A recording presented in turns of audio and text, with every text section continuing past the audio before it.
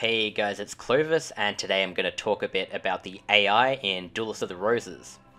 Uh, before I continue though, the information in this video is based by findings from Generic Mad Scientist, uh, so check the description for a document by him that tracks his findings of the inner workings of the game.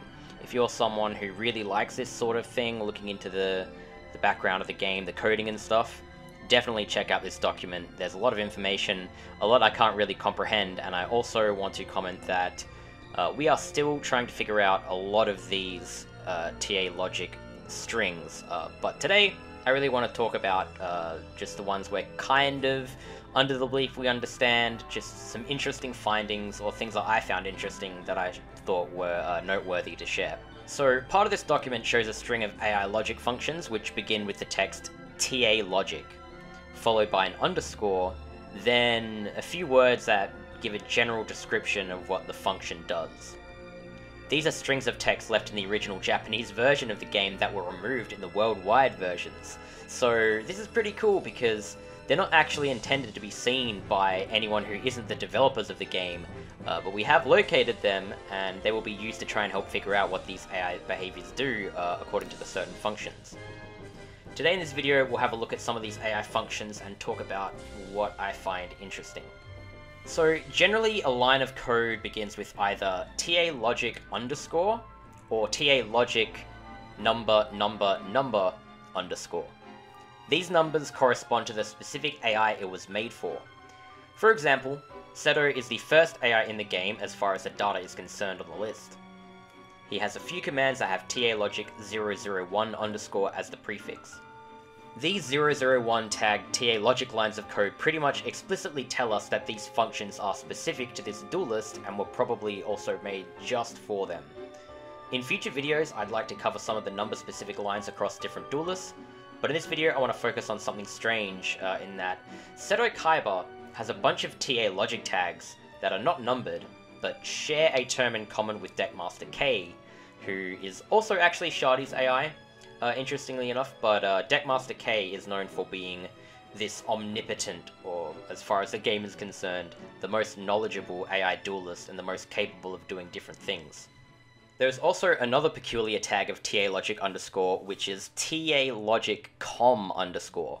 Only Deckmaster K and Seto's AI actually have functions containing the TA logic com underscore prefix.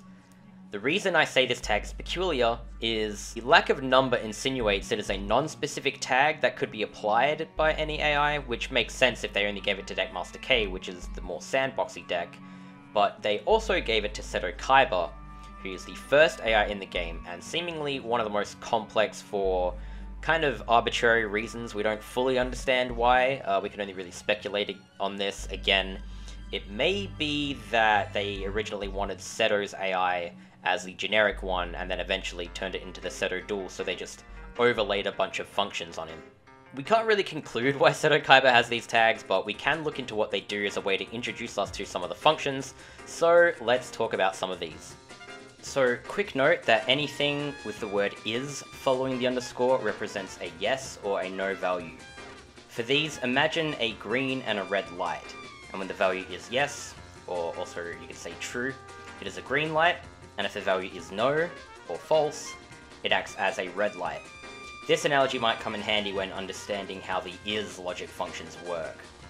I won't use this analogy for the entire video, but I will use it for the upcoming function example.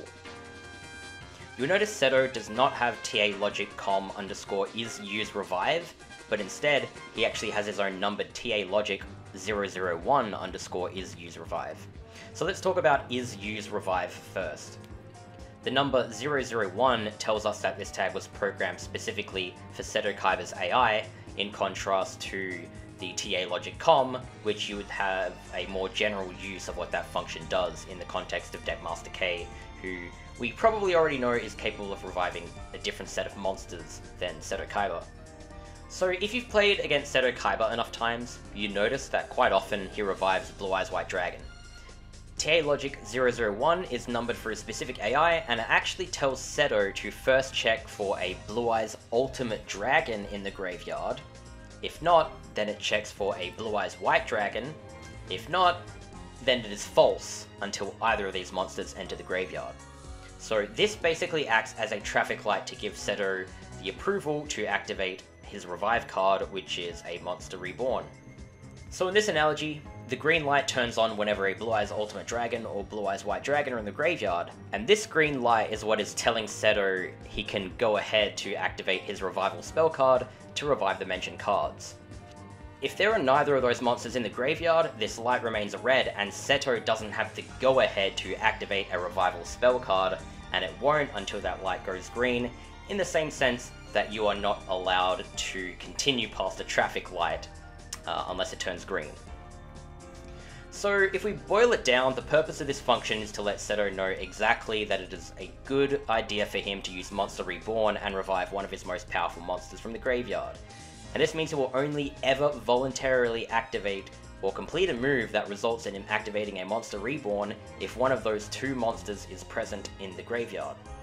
And this completely contrasts Deckmaster K's own string of is use revive, um, Deckmaster K, unlike Seto Kaiba, has its own function for figuring out what monsters to revive, which is a bit more complex than simply checking the materials in a graveyard.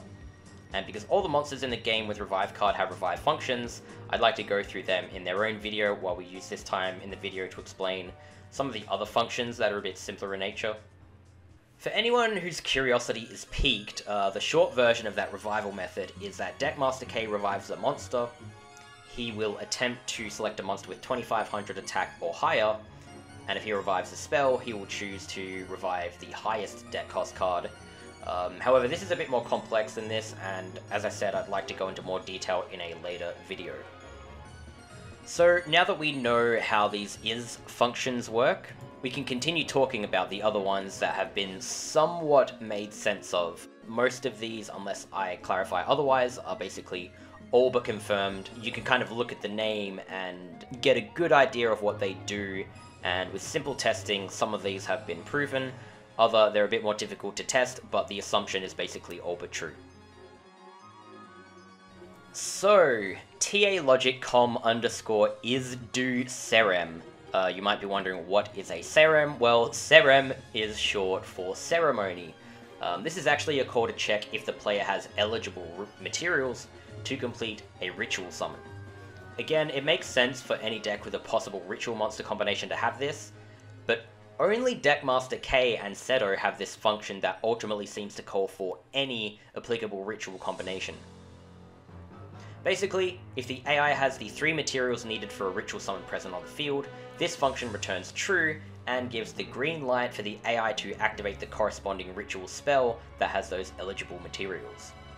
A bit of an interesting one is ta-logic-com underscore is open unit. Uh, this actually returns false if the unit is face up, which is perhaps the opposite of what it should be. Um, but generally, what this function suggests is that uh, it does know to treat a card differently based on if it is face up or not. Uh, imagine it is perhaps a red light for the AI, perhaps, and uh, for what it is, I'm actually not 100% sure as it could serve as a purpose to interact with uh, other logic functions that actually need to check if a card is face up or face down, but at the moment, all we really know uh, is that this basic, the purpose of this function is basically to determine if a card is face up or face down. In the same way, the game uses the word open in the open card leader ability uh, that will literally flip a card face up, which is, uh, according to this game, uh, synonymous with being open. Next up, we have one that I am really personally interested in, and it was probably due to the fact that as soon as I read the name, I had a good idea of what it is, and that is TA Logic Com underscore get use XY range spell. Um, it's interesting because it pretty much straight up tells us that it has to do with a spell that has an X and Y range, meaning that it has an effect that works on vertical and horizontal tiles, uh, so basically, when you break it down, it means that this is a logic function for Raigeki and or Harpy's Feather Duster. Again, it's sensible for Deckmaster K to have Get Use XY range spell, as it is possible for him to have Raigeki or Harpy's Feather Duster if you go into the custom duel with these cards into your deck and duel Deckmaster K. The interesting thing, however, is that Seto Kaiba does not actually have a Raigeki or Harpy's Feather Duster in his deck, uh, however, it is possible for Seto to Destiny draw a Raigeki, in which case, get use XY range spell is the only function he has that allows him to actually determine what he would do if he destiny draws Raigeki.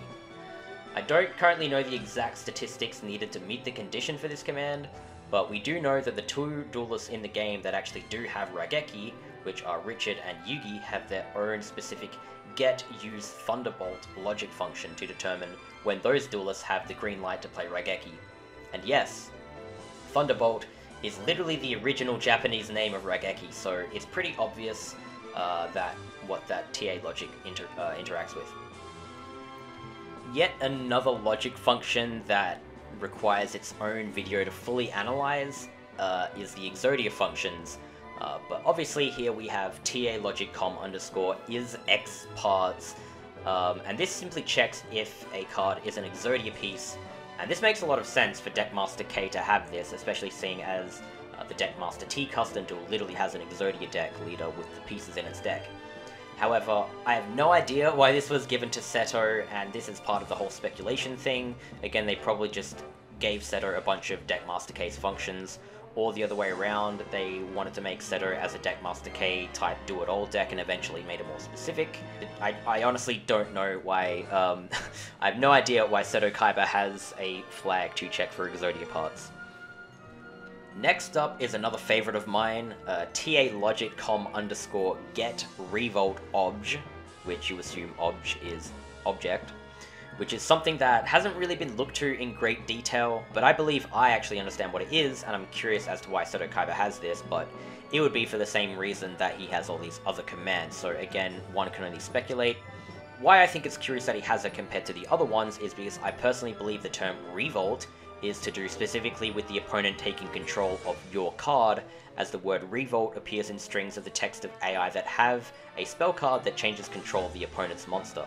Seto Kaiba and Deckmaster K both have TA Logic com underscore get revolt object, whereas Pegasus and Yugi's AI have number-specific revolt functions. Seto only has TA Logic com underscore get revolt object, whereas the other AI who have or could possibly have monster control effects have TA Logic underscore get minimum task underscore revolt mission, and as far as I know, get minimum task is a string of text that basically prioritizes uh, this mission, um, which you would assume is the action that the AI wants to perform. Minimum being minimum in a list of all the queued orders that it has, so I assume get minimum task is the player, or the AI rather, immediately wants to do this revolt mission as the game calls it. And to be totally anticlimactic, the TA logic com underscore is use obj effect function is currently unknown, uh, but my not so educated guess is that this is when the AI wants to activate the effect of a monster.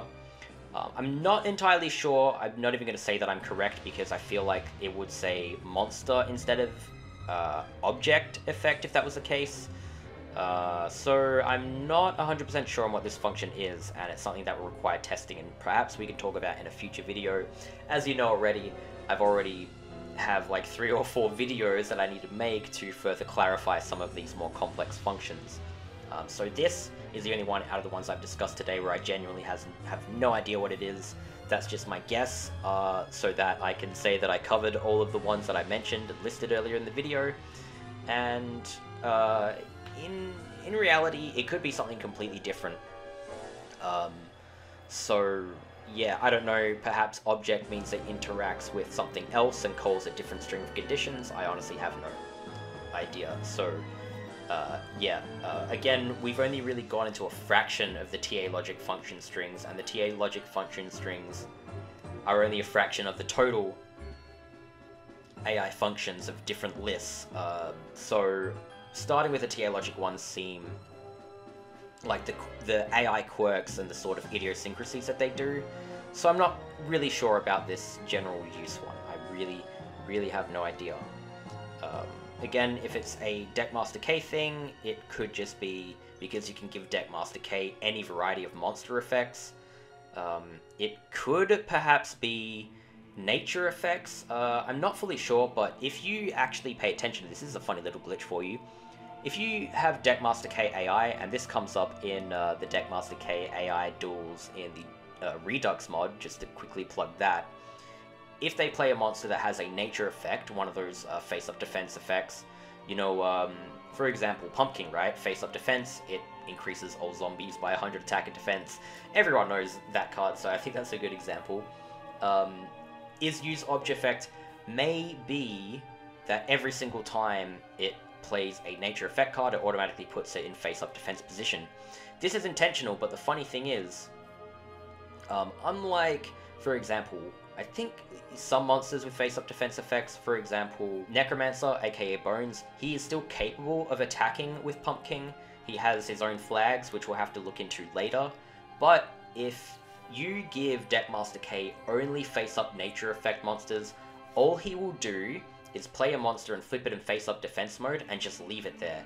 Even if you walk up right into the direct attack range of these face-up defense monsters, he will literally never attack you. Um, unfortunately, things are way more complex than this. Uh, for example, Nemuriko, I believe, has its own flag, whether it wants to use it or not, based off of if you have warriors or not. Uh, but for the most part, even if the enemy takes control of one of your face-up defense mode monsters next to your deck leader, using uh, any of the revolt object functions, once it takes control of the card, it will just leave it in face-up defense mode because Deckmaster K thinks the best and, well, only way to use face-up defense nature monsters is to just leave them in face-up defense mode to keep their effect active. So, thanks again to Generic Mad Scientist who has extracted all this information from the game. Um, as I find this stuff incredibly interesting, and I hope you guys did too. Normally, I don't really like talking about things that I don't have a huge amount of knowledge on, so I uh, risk being wrong in this video. Uh, but generally, considering no one's looking into these functions really except GMS and myself, um, and discussing what they mean and uh, periodically testing it, I think it's better than nothing, you know. I think it's worth putting this information out there and getting people talking, because this is the really cool stuff about the game, and it relates to a lot of the problem solving that I had to do when uh, trying to pick AI to make the Duels of Roses Redux mod. So, um, seeing as I've actually plugged it at the end of the video here, I may as well uh, put it at the end screen. I, I, hope I don't forget to do this. That would be terrible. Um, or like a card just showing that trailer for anyone who has not played it. Um, and yeah, thanks everyone for watching. I hope you found the video entertaining, and I will see you guys in the next video, which may or may not be to do with the AI. Thanks. See you later.